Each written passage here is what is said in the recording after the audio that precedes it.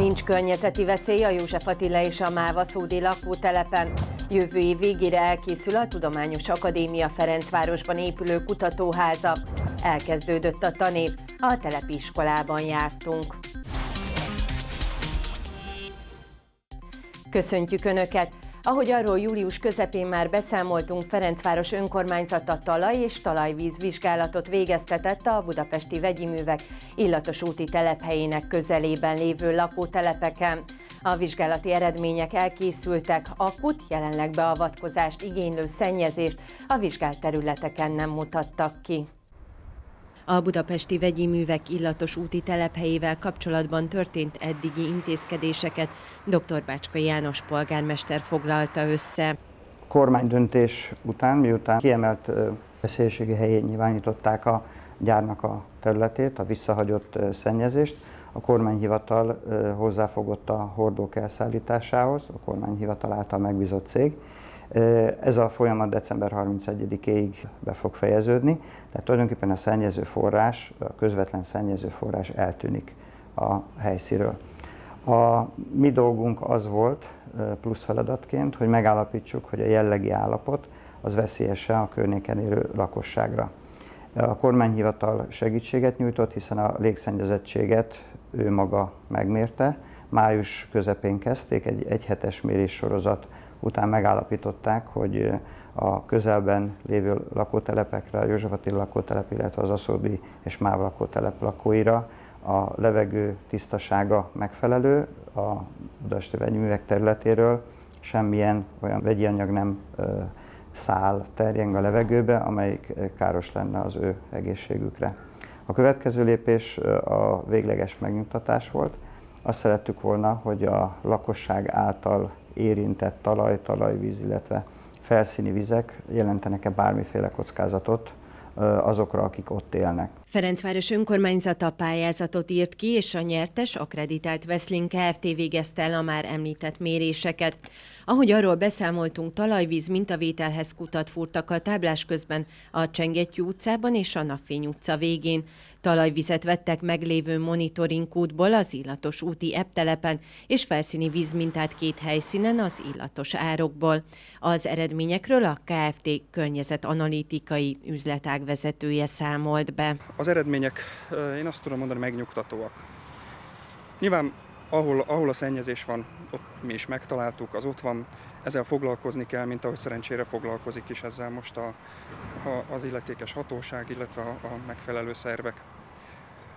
Az, hogy a, a lakótelepek környékén talált szennyezések milyenek, az egy, arról nagyon sokat lehetne mesélni. Általában ugye elmondhatjuk, hogy Budapest területén és általában az ország nagy részén föltani közegben felelhető víz legfelső rétege, tehát a talajvíz, az közvetlen fogyasztásra nem alkalmas. Tehát ezek általában azért az ember tevékenysége nyomán elszennyeződtek az utóbbi évtizedekben. Így ez az állítás ide is igaz. Tehát az a talajvíz, amit itt találtunk, az kismértékben szennyezett, de szerencsére azok a komponensek, amelyek feltételezhetően a budapesti vegyi művek szennyezése nyomán alakultak, vagy jutottak volna ide, azok szinte egyáltalán nem, egy kivételével, egy növényvédőszer hatóanyag, illetve vannak bomlás termékek kivételével egyáltalán nem kimutathatóak. Ez megnyugtató, azt hiszem. Tehát sem oldószerek, sem azok a, azok a kiindulási anyagok, intermedierek, amik nagy mennyiségben az illatos úton ott vannak, azok ide nem jutottak el. Talajvízzel nincsenek érintkezésben a lakótelepen élők, hiszen talajvízzel nem locsol senki. A Ferencvárosi Önkormányzat kezdetet fogva ivóvízzel locsolta a zöld felületeket. A játszótereken sincs semmiféle probléma, hiszen azok az ivóvíz kutak, amelyek elérhetők, azok is csapvízzel működnek. Mi a helyzet a talajjal, illetve az illatos árokkal? A talajban ö, gyakorlatilag ezt a szennyezést határérték alatt nyomnyi mennyiségben tudtuk kimutatni. Itt megint azt szeretném hangsúlyozni, hogy ez valahol mi az analitikus vegyésznek a, a bűne vagy érdeme, ahogy tetszik. Tehát annyira érzékeny vizsgálati módszerek állnak ma már rendelkezésünkre, hogy kis túlzással néhány molekulát mi már ki tudunk mutatni, hogyha előfordul. Szinte bárhova megyünk, ezt a néhány molekulát hasonló módon ki tudjuk mutatni. Praktikusan azt mondanám, hogy a talaj vizsgált rétegesen szennyezett. Az illatos árokban pedig két ponton vizsgáltuk a vízminőségét, az egyik itt a lakótelep melletti szakaszon, a másik pedig hát a vegyi művek közvetlen környezetében. A kettő eredmény egyáltalán nem hasonlított egymásra. A vegyi művek mellett találtunk olyan dolgokat, amelyek különösebb magyarázatra sajnos nem szorulnak, tehát ezzel tisztában vagyunk, hogy azok ott vannak. A lakótelep melletti vízben gyakorlatilag semmit nem tudtunk kimérni, azok közül a, szerves mikroszennyezők közül, amelyekre vadásztunk. Kimondottan a vegyi műveknek a, a potenciális szennyező vegyületeire vadásztunk. Azt lehet mondani, hogy utolsó fázisként a kormányhivatal miután a szennyező forrást, a mérgező hordókat elszállítja, a jövő év elején, közepén a környező kerületekben, Erzsébeten, Kispesten és Ferencvárosban, ha szükséges, akkor hasonló ellenőrző méréseket fog végezni talaj, talajvíz és felszíni vizekre használatára vonatkozóan, és ő fogja kimondani a végső szót, hogy kell-e egyáltalán bármilyen intézkedést tenni. Szerkezetkész a Magyar Tudományos Akadémia kerületünkben épülő bölcsészet és társadalomtudományi kutatóháza. Az építkezésen jártunk.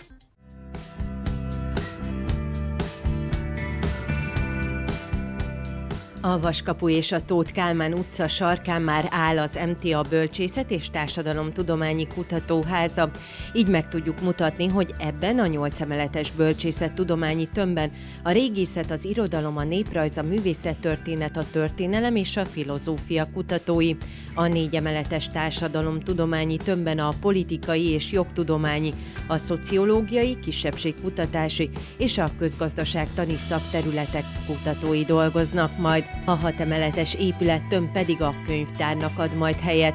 A kutatóház főépítésze ismertetett meg minket a 21. századi igényeknek messze megfelelő, rendkívül energiatakarékos, már szerkezetkész épülettel, ahova belépve elsőként a közös aulában találjuk magunkat. Ez az a közösségi tér, ami összeköti az összes épület szárnyat. Ugye itt tőlem jobbra a bölcsészettudományi épület van, ugye itt a K épület, a az azért kár, mert ugye ebben van a könyvtár. Összes intézeti könyvtár idejön, és ugye a harmadik épület az pedig a T épület, ahol a társadalomtudományok foglalnak helyet. Egyrészt ugye építészetileg is egy impozáns dolog ez a pár híd, ami ide bekerült. Másrészt pedig azok a kollégák, akik együtt dolgoznak, azok épületen belül, anélkül, hogy lefölmászkálnának itt lifttel mindennel, az adott szinten át tudnak navigálni egyik épületből. Tehát ezeken akkor itt át ezeken lehet át lehet menni, lehet igen. menni.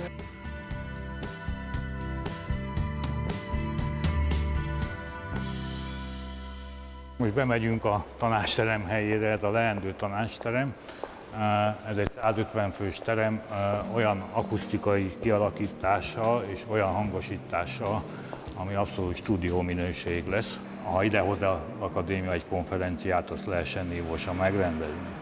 Másrészt pedig, mivel a környezet az nem mindennapos, lehessen külső rendezvényeket is idehozni. Hozzá kapcsolódunk az étteremhöz. Ez az étterem az itt dolgozóknak Ez abszolút az lesz. itt dolgozóknak lesz, csak próbálunk attól a megszokott jó színvonalú, igen jó színvonalú menzától is egy kicsit fölfele emelkedni.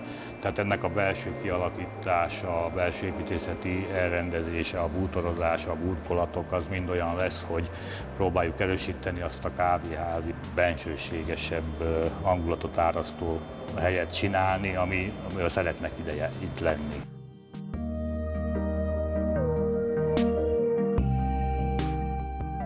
Ahova most megérkezünk, az a tanásteremnek a teteje igaziból. A, ami ezen túl fontos, és amiért ide jöttünk, az az, hogy itt ebbe az egész térbe próbálunk csinálni egy olyan találkozási helyet az épületben, ahol nagy öblös fotelek lesznek, az étteremből föl lehet hozni a kávét, le lehet ülni, lehet beszélgetni.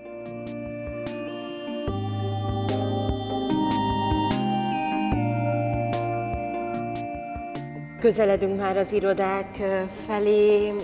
Mekkora lesz átlagosan egy ilyen iroda? 8 négyzetméter per fő. Ez egy főre jutó alapterület. Értelemszerűen általában kétfős irodákat kértek, a kutatók itt is abszolút hagyatkoztunk az igényekre, tehát ebből egyszerűen következik, hogy 16 négyzetméter lesz egy kétfős iroda. Oszlopok előtt fog elsuhanni az a fal, ami az irodának a határoló fala, és ebben a középső mezőben mindenhol kiszolgáló létesítmények vannak, vagy vizes blokk, vagy teakonyha, minden egyes ilyen öbölbe itt a folyosók végén csinálunk egy ilyen foteles kindőt, Tehát hogy teakonyhából ugyanúgy tér ki lehet lesz. jönni, ez végigvonul az egész épületen. Mikorra fog elkészülni az épület, mikor jöhetnek a kutatók kutatni? Hát azt tervezzük, hogy jövő év végére átadjuk ezt a házat. És hát januártól meg akkor be lehetne költözni, útrozva adjuk át a házat, úgyhogy csak be kell költözni. Néhányan azok közül, akik most kezdték az iskolát, talán egyszer kutatók lehetnek majd egy ilyen modern kutatóházban. Minden esetre az első osztályosok már nagyon várták, hogy tanulhassanak. Idén a Telepi Károly Testnevelési Általános Iskola és Gimnázium tanévnyitóján jártunk.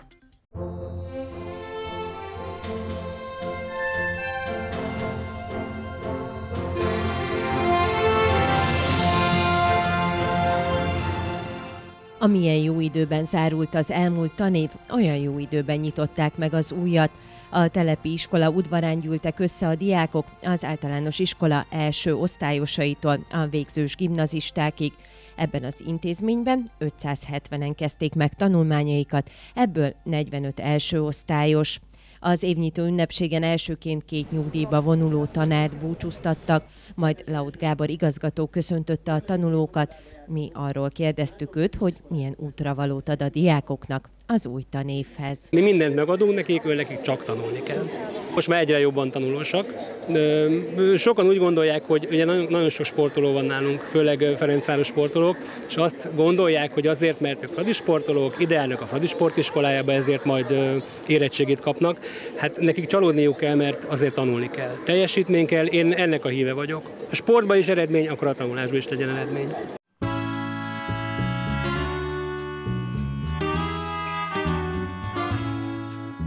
Az első osztályosok vegyes érzésekkel érkeztek az iskolába.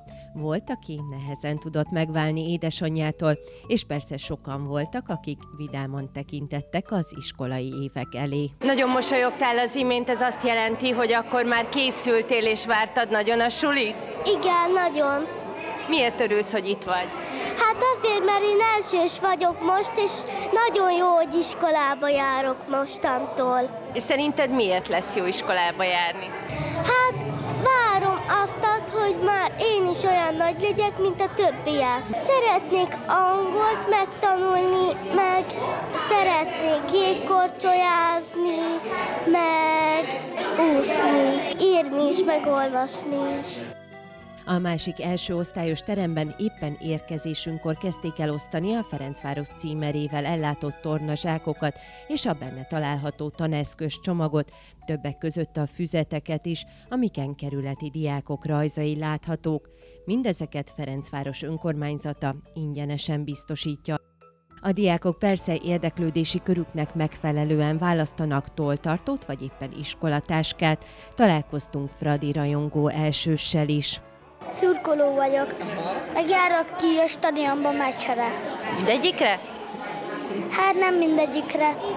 És kivel jársz ki? A unokatesummal, vagy a apukámmal, meg a nagypapámmal szoktam. És mióta van egy Ferencváros drukkel? Van egy nevelő apukám, és azóta, amióta megjött. De nem csak a tolltartót Ferencvárosos, hanem mutassuk meg, hogy még mit van, ami a Fradihoz köthető. Táska.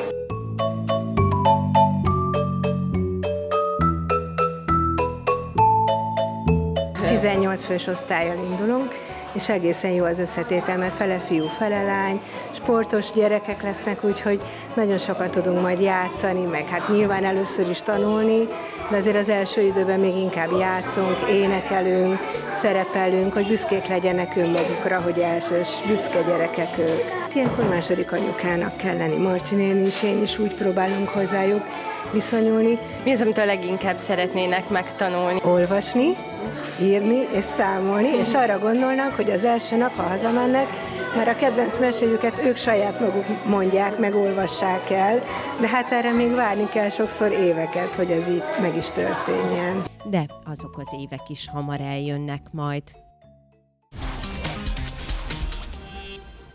Köszönjük megtisztelő figyelmüket, ha tehetik, akkor ezen a héten pénteken és szombaton, tehát szeptember 11-én és 12-én látogassanak el a József Attila lakótelepi mulatságokra. További kellemes hetet kívánunk viszontlátásra!